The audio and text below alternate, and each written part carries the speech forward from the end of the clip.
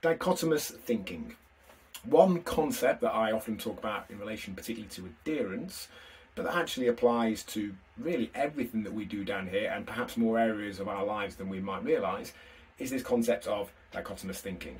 All or nothing, black or white.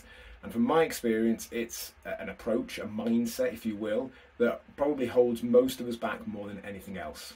It's what causes us to not do anything when we could do something because we don't think it's worth doing, because we're not able to do, for whatever reason, the, the ideal version. It's what means that when we can't come three times in one week, we leave it till next week.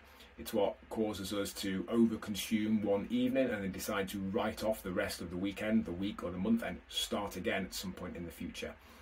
And it's powerful to realise that in nearly every choice in life, there are shades of grey in between those two extremes.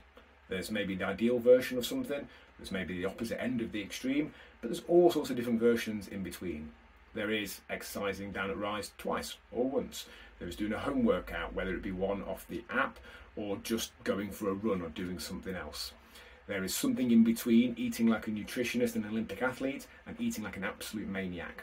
We can just choose to make a decision in the middle of that.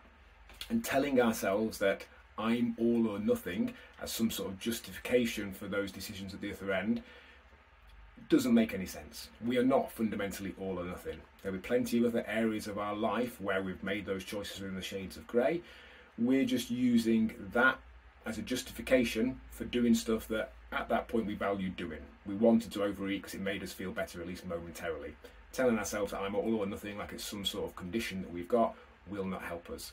Remembering that whatever decision we're faced with, there are shades of grey between those two extremes, is probably the most powerful way that we'll enable ourselves to make average decisions that will take us in the direction that we want to go in.